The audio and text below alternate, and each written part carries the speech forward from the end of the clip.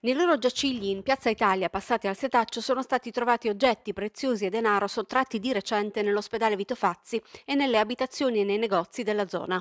Un 28enne e una 32enne, entrambi senza fissa dimora, nella mattinata dell'ultimo dell'anno sono stati sottoposti a controlli dagli agenti della Volante di Lecce. Sono stati trovati in possesso di diversi oggetti in argento, attrezzi chirurgici, una pinza, una torcia, un mazzo di chiavi con la targhetta indicante sala riunioni. In uno zainetto dell'uomo sono stati trovati anche altra argenteria ed altro materiale, sulla cui provenienza non ha saputo dare spiegazioni.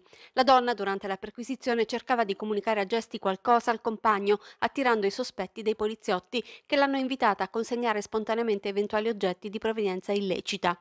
A quel punto la donna ha estratto da sotto la giacca una borsetta contenente una bustina con alcuni monili, presumibilmente in oro, e una busta di carta intestata a Asle Lecce, contenente ben 3.600 euro, per il cui possesso non ha saputo fornire giustificazioni plausibili, riferendo solo di averli ricevuti da un amico.